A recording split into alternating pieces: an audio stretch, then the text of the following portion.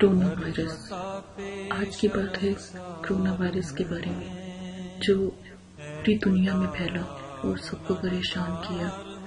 मेरे प्यारे बहनों, भाइयों, आज सुन्नत मोहम्मदी और नबी पाक सल्लल्लाहु अलैहि वसल्लम की सुन्नत से जो मैं आपको इलाज बताऊँगी, आप वो करें। तो इन अल्लाह के हुक्म से आपको कभी भी ये वबा या बीमारी नहीं लगेगी। अल्लाह पाक ने जब इंसान को पैदा किया तो उसमें अल्लाह पाक ने इंसान की हर तरह की बीमारी की, जो उससे बर्दाश्त हो सके, उसकी ताकत रखी। उसको ख़त्म करने की ताकत भी अल्लाह पाक ने अता फरमाई। कौन है हमें अपने रब के अलावा जो इस बीमारी से लड़ने की हिम्मत दे? सबसे पहले आप दुआ करें अल्लाह पाक से दो रकत नफल और दो रकत नफल हाजत, दो रकत नफल तोबा आपने पढ़ने हैं। किसी भी वक्त पढ़ सकते हैं। ईशा तहजुद फजर फजर से पहले, किसी भी वक्त आप पढ़ सकते हैं। मगरिब से पहले पढ़ के अल्लाह से दुआ करें। सुबह के टाइम आप कलवंजी का इस्तेमाल करें और घर में जो, जैसे लौकी, कद्दू कहा जाता है, वो इस्तेमाल करें खाने में। तो यकीन माने कि आपको कभी भी ये वबा नहीं लग सकती। नबी पाक सल्लल्लाहु अलैहि वसल्लम ने फरमाया कि जो लोग सुबह निहार में चंद दाने कलवंजी के खाते हैं तो मौत के अलावा हर बीमारी का इलाज उसमें है।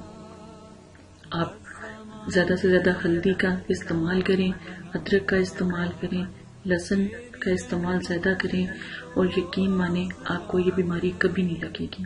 जो मेरे नबी की सुन्नत है, उस पर चलें।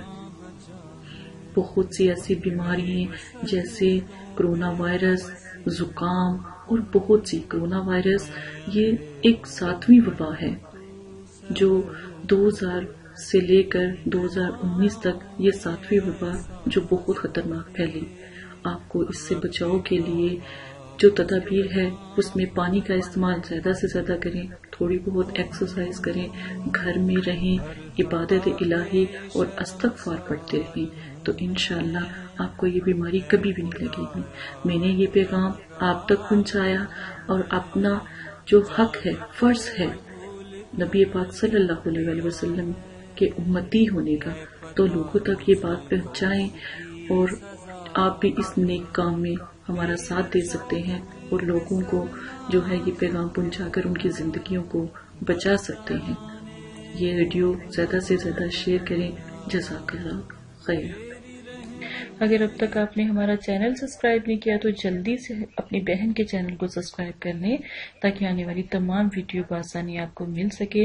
आपको कोई भी मसला है, जादू, जिन्नात, असेब, किसी भी किस्म का मसला है, घर में किसी भी किस्म की परेशानी है, रिश्तों की परेशानी, रिस्क की बंदी, कारोबारी परेशानी, कारोबारी बंदिश, बाहर जाने का मसला, बाहर जाने की बंदिश, या किसी भी किस्म का घरेलू झगड़ा, परेशानी, इवन तलाक तक का मसला हो तो अपनी इस बहन को याद करें और चैनल पे आके हमारे या फेसबुक पे आके हमसे बात करें।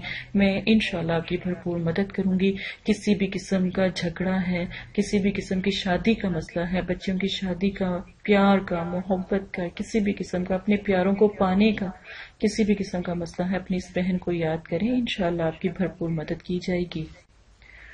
और अहदीस को फैलाएँ, नबी पाक सल्लल्लाहु अलैहि वसल्लम की उम्मती होने का फ़र्ज़ निभाएँ। अगर आप को हदीस सुनते हैं और इसको आगे भेज देते हैं, इससे हो सकता है कि आपकी पूरी नस्लें सवर जाएँ। आपकी आल उलाद और आने वाली नस्लें इस हदीस का फ़ायदा उठा सकती हैं। लोगों तक जितनी भी मेरी वीडियोस हैं, वो पहुंचाएँ ताकि उनको हदीस सुनने का मौका मिले, जो मैं परेशानी आपकी हल करने के वसाइफ बताती हूँ, अमल बताती हूँ, वो भी लोगों तक पहुँचेंगे और लोगों की मदद होगी। और एक इंसान की जान बचाना या परेशान हाल, एक इंसान की परेशानी को खत्म करना ऐसे है जैसे पूरी दुनिया की खलकत की परेशानी को खत्म करने के बराबर। जजाक अल्लाह खैरा